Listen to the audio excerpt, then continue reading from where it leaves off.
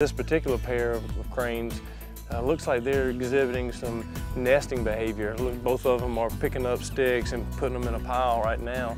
So this is, um, this is a nice find.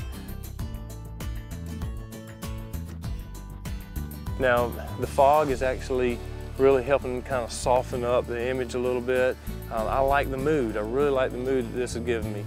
Now, this is another perfect example where if you have a neutral tone subject and a neutral tone background, which everything in this scene is neutral tone, you can pretty much trust what your camera's meter is going to tell you. Because remember, the camera's meter wants to make everything neutral gray. And that bird, his feathers are neutral gray.